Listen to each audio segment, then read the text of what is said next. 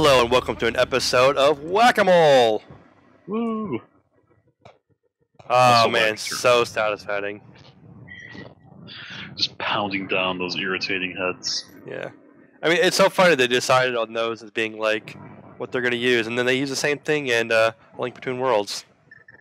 Yeah, they get an amazing comeback in Link Between Worlds. Yeah, especially since, you know, you can get on top of them and they'll launch you in the air. Oh, it's great. And the hammer is just bigger and and more fun to swing. Yeah.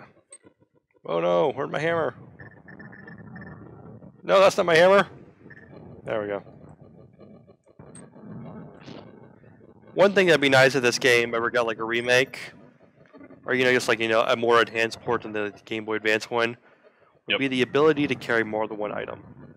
Yeah. Right. The the SNES didn't know what to do with all those buttons, but it certainly wasn't going to let you have more items. Yeah. Yeah, because I mean, like, it, it, it certainly wasted the amount of buttons it had. It did.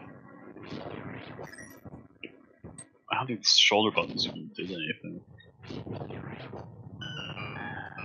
Yeah, I'm, I'm using, right I'm up a map. pressing them right Right. now. They're not doing anything. Yeah, they really could have just used those for more item slots. Yeah, or you know, assign like you know the map to those buttons, and then you know hmm had your map button do something more useful than do this. right. A job that Starter Select could do just as easily. Yeah. There we go. Make this nice and illuminated in here. Yeah, it really. Really is a drag on the gameplay to have to be constantly pausing to swap out items. Yeah. It's just one of those quality of life things that Zelda series did get better at. Yeah, all, all games did, I guess. Okay, and here we have the big bad helmet rock. Yeah. So the way they want you to beat this guy is to hit him with a hammer like this. But when I was a kid, I never realized that's why you wanted to kill him because like the hammer seemed like such an impractical weapon. So I always did this. I just blew him up. Yeah, because because you're not a chump, and the game wants you to be a chump. But like it's not always the most effective way, and like you could easily run out of bombs and like lose this fight. But what I was always do was just hold my, my the bombs over my head to prime them and throw Yeah. them last second. Yeah, more like that. Yeah. I do love how it was kind of kind of earlier for me to get all memey about it, but the the Helmerock King in Link Between Worlds that's in the head, Yeah. Was was very reminiscent of the crab in Moana. And uh, Moana had come out before that, that game. There would have been a lot of shiny memes. in Link Between Worlds. I could see that. But alas, sometimes we are disappointed by the course of history. That is unfortunately the way things seem to go.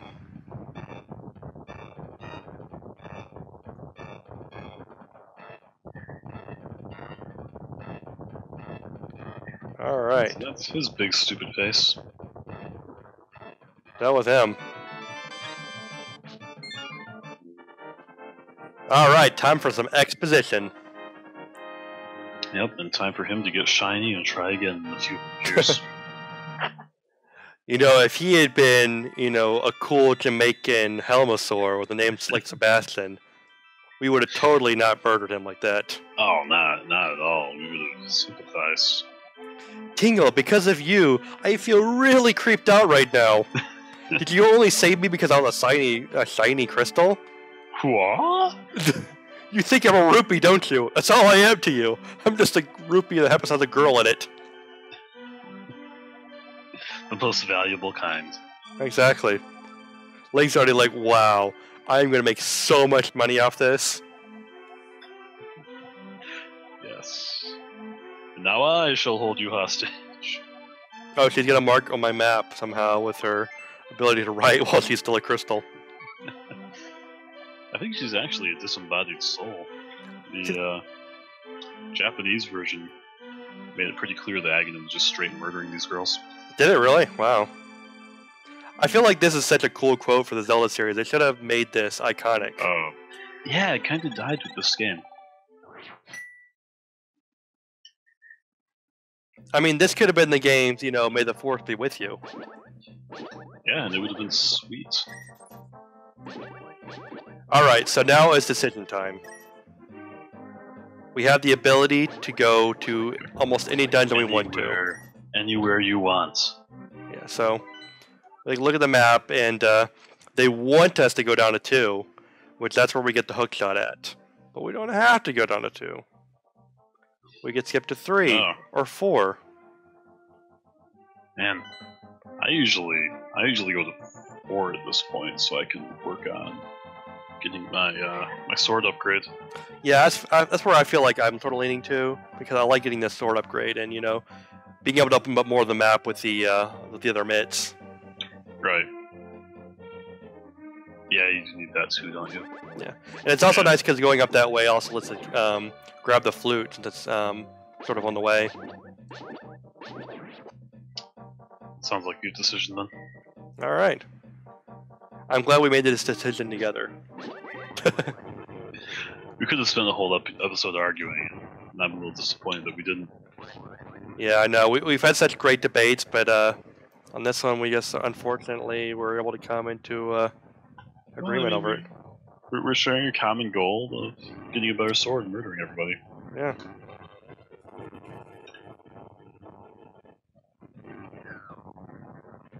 I don't know if there's anything necessarily down here, but we're gonna take a look.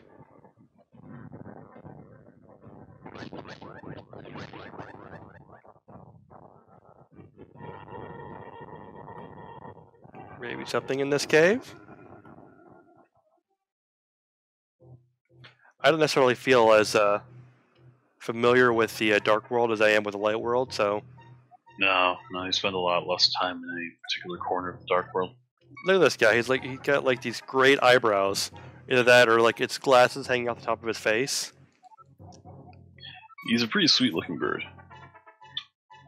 Oh, there's a circle of rocks at the base of the river. I don't know what will happen, but it might be fun to throw something into it. Oh, is that your story you want me to pay you for? Thank you. That was so useful.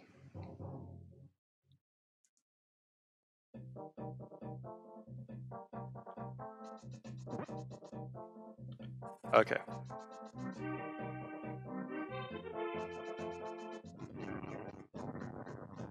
I think the easiest way is just going to be mirroring back into the uh, light world. Yeah, it's usually the fastest.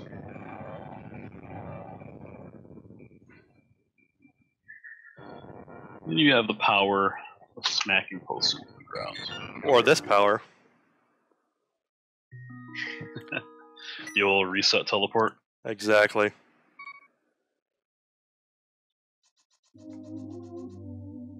think that's exactly where we want to be.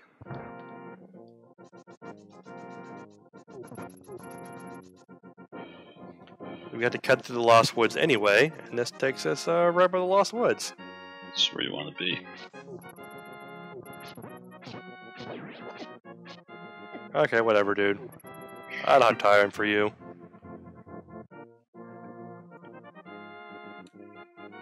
Okay, so I think it might be down here. Oh no! All the fake, the, the fake Master Sword's gone. Man, how are you going to be distracted by fake master swords if not even there? I have no idea. probably- Probably should have stockpiled them in your house and then started planting them after you got out. Yeah, exactly. Or you know, you know, put them in my house and maybe you know paid some exorbitant fees to uh, get some plaques for them. Right. Man, you, you were not kidding when you were saying earlier that they took all the atmosphere out of Lost Woods. Yeah, like right now we don't even get the Lost Woods theme; it's just the basic overworld theme. Yeah, that's really sad. The shadow effect is nice though. Yeah, I mean, it's, what they're doing right now looks really cool. Well, there's a fake sword.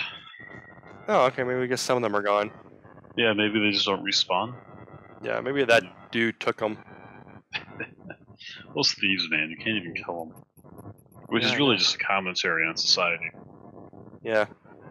It's almost like they're my jokers. I can't kill them. Like, I can kill kill all the mooks, but I can't kill the actual person responsible for all our woes and troubles. And then 50 years later, you find out there's actually three of them. All right. So yeah, take this back way, and uh, they make it seem like you have to have, you know, a certain way to get here first, because you have to use a hook shot to get to this area. Otherwise, unless you hmm. go to this portal the other way around. Which is, which is the magic of the game. Yeah. Go where you want. Link does not care. He will not be concerned. Oh no, Link- it's a bone chicken. Oh my goodness, what's going on around here? And that tree just tried to attack us. Bombs. What an inhospitable place. Yeah, this is so cool. Like, you know, first time you run into a tree and like it starts talking to you, Yeah, you're like, "What the hell's going on here?" that was great. Okay, so I think before I go into this dungeon here, hmm I'm gonna head over to the blacksmith and uh, go back to the light world. Okay, yep. Good thinking. You wouldn't want to be living a curse-free life. Exactly. Like I've already got cursed once with this annoying medallion I didn't ask for, but I feel like I could get cursed more than that. You could get you could get worse, way better than that. Or can you? I don't know. Let's find out. Oh, yeah, those those are no real barrier. What am I thinking? To be in the light world for the start anyway. Yeah. Just can't get to the blacksmith. Yeah, but I can get into here.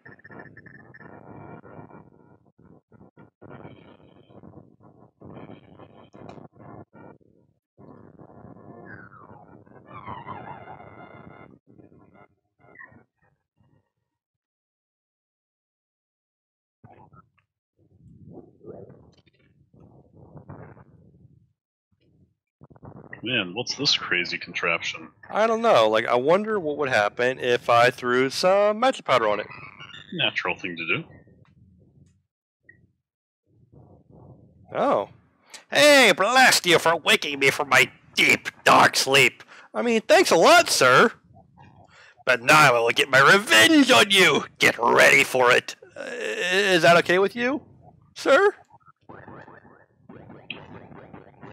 Oh no, cursey curse lightning. Oh my goodness, what's happening What to me? horrors away. I laugh at your misfortune. Now your magic power will drop by one half. Congratulations. Now do your best, even though I'm sure it won't be enough. Have a nice day. See you. Man, you lost half your magic. Yeah. Yeah, so before we like conclude this episode, I just want to say like it's really this character is like one of my favorite things in this game. Oh like yeah. I thought it was hilarious, and I love that he's in a Link's Awakening, and you get to run into him like three times, and he like I think he does like your inventory stuff in that game. That's And he's like in that game, he's like, "Ha! Now you have to carry around all those bombs." which like it's so Right. inconvenient. There, there was a similar character in Thousand Year Door, Paper Mario. Yeah, there was like four of them, and uh, Yeah. it's like, ah, now you'll have to turn into a sailboat on the water. and it's great because you get to like the you get to like the fourth one, and like Mario is just like so over the shit by that point. yeah. and like the the door the, the um the guy is cursing you as a chest. He's like he, he's sort of offended that you're not reacting Mhm. as much as you would before. He's like, all right, fine, let's get on with it and just do what we have to do. Right. Yeah, it was really well done. All right, but yeah, let, let's let's finish up here. That seemed like a good place. Sure. So we'll uh come back next time. Good night.